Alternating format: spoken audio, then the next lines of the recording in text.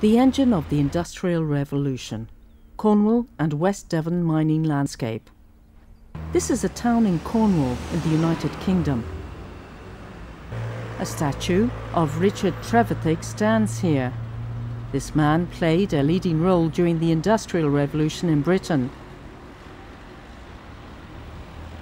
Copper and tin mining was a major industry in Cornwall and West Devon in southwestern England during the 18th and 19th centuries.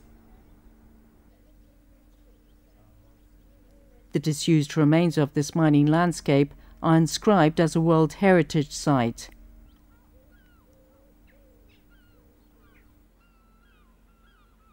This photograph was taken during the height of production. A countless number of chimneys and buildings known as engine houses were built next to each other. These facilities harnessed high pressure steam to power heavy machinery.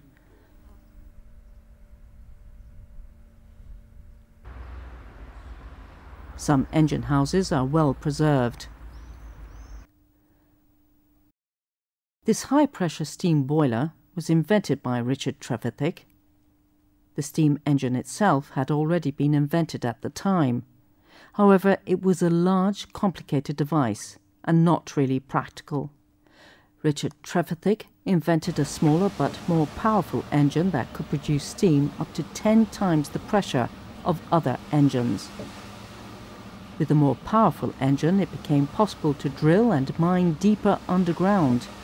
As a result, production output increased rapidly, and the mines produced nearly two thirds of the world's entire copper output.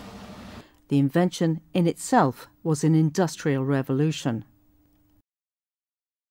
Miners were carried down the pits in steam powered lifts. The engines also pumped out vast amounts of underground water to enable miners to mine deeper. The engines were also used to power mining drills. This drill was invented by Nicholas Holman, a friend of Trevithick. George Stephenson is widely known for his achievements with steam-powered railway engines, but it was actually Trevithick who invented the steam locomotive. The British government built a large statue of Trevithick to honour his achievements. Trevithick's high-pressure steam engines powered the Industrial Revolution, and this desolate industrial landscape is an important testimony to that significant period of human history.